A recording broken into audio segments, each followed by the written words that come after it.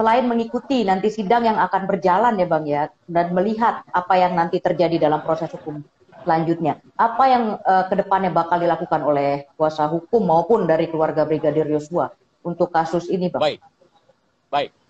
Andai kata peradilan ini terbuka untuk umum, dunia memperhatikan para pakar-pakar hukum Indonesia menyaksikan dan hukum yang tertulis berlaku Undang-Undang Dasar, Undang-Undang KUHP, KUHAP, dan hukum internasional lainnya, mari kita perhatikan. Usul kami itu sederhana. Hanya kami gunakan pasal 340, sederhana di KUHP. Nah, baru junto pasal 338. Baru kita, nah, kalaupun subsidiar dijuntukan lagi, karena bukan satu orang.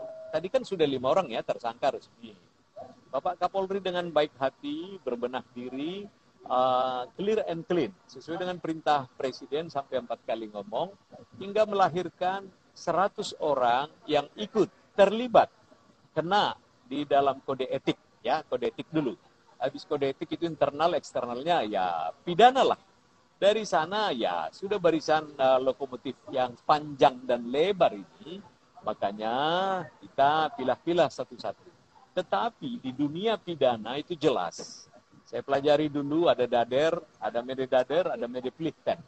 Ini di dunia pidana itu ada pelaku utama, kalau bahasa lain tetangga sebelah di Pulau Gadung bilangnya gebong. Ada pembantu pelaku utama, ada ikut serta yang nonton-nonton. Mudah-mudahan ini akan diberikan kebenaran dan menentukan keadilan. Semua ikut membantukah menyertai atau memang daya paksa ya. Banyak nanti. Biarkan di pengadilan itu akan terbuka satu-satu. Skenario skenario tadi akan jalan. Kami kuasa hukumnya ada 8 orang. Yang semua ini kan paham akan hukum-hukum yang ada di Indonesia khususnya hukum pidana. Andai kata keterbukaan itu kita tentukan dibantu masyarakat yang rindu akan penegakan hukum dan keadilan di Indonesia biarkan berjalan sebagaimana mestinya kita ikuti, kita laksanakan dan juga hasilnya profesional, final dan tentunya pro justisia.